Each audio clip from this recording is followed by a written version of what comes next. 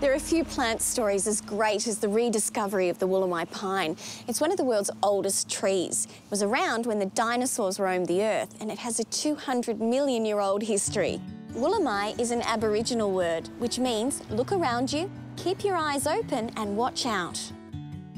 So it's quite appropriate, really, that the plant was thought to be extinct until 1994 when a bushwalker stumbled across the living relic in a rainforest gorge in the Wollemi National Park in the Blue Mountains.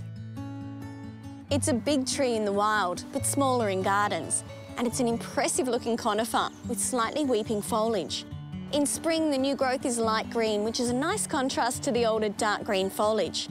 And when they're mature, the bark is really unique. It's often said it looks like bubbling chocolate.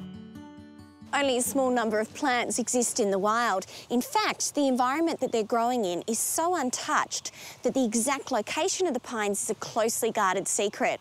So what better way to make sure that the Wollemi pine is around for generations to come than to propagate it and encourage people to grow it at home? The Wollemi pine makes a very Australian Christmas tree, so why not pot one up to bring inside for Christmas, then plant it out into the garden afterwards to enjoy year-round.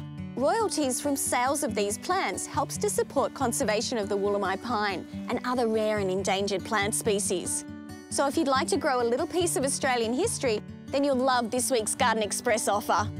Normally a plant like this, it's about 60 centimetres tall in a 150 ml pot, would cost you around $169. But Garden Guru's viewers can get their hands on one for just $130. So get on over to the Garden Express website, look out for the Garden Guru's offer. But be quick because you want to make sure that you get one of these prehistoric treasures.